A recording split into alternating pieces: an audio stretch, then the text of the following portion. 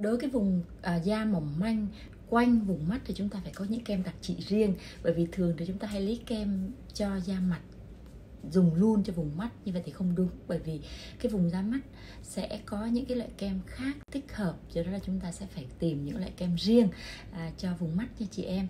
À, điểm thứ hai nữa là chúng ta sẽ cần phải có cái chế độ dinh dưỡng à, chế độ à, sinh hoạt cho phù hợp ngủ sớm này ăn uống cho đầy đủ nhiều vitamin rau xanh tốt cho làn da của chúng ta. Điểm nữa là làn da của chúng ta cũng sẽ bị ảnh hưởng nếu chúng ta đi ra ngoài nắng mà không được che chắn không được kem chống nắng.